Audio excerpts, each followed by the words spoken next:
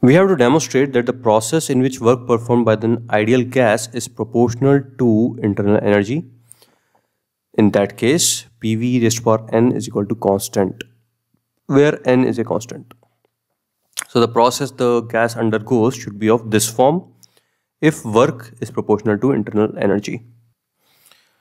So if work is proportional to internal energy, which is given to us, then dW should also be proportional to du. So let's individually find dW and du and proceed from there. So dW is equal to PdV. So why we are doing for dW and du? Why not for W and U? Because for, in order to calculate W, we must do integral of PdV, which we don't want to do because we don't know what is how P and uh, pressure and volume are related. But dW is always PdV. So it's easier to do this way. So dW is PdV is equal to nRT by V dV. So why we are writing in terms of nRT dV by V? Because we have to equate that to internal energy and internal energy is a function of temperature. So we must introduce temperature.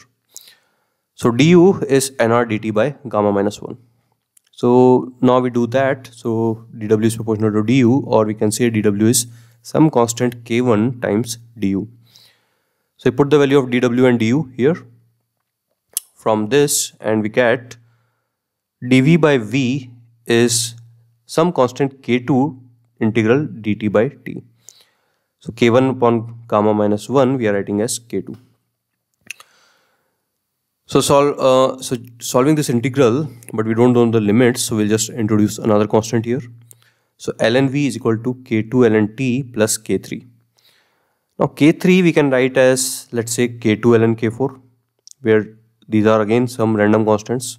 This k2 is same as this so and k4 is some another constant. So we can write that k3 in form of this. So this gives ln v is equal to k2 ln k4 in k4t. So from here we get the relation between volume and temperature. That is this but we are required to get the relation between P and V. So we'll get rid of T, so we'll write temperature in terms of pressure and volume. So that will be PV by NR. And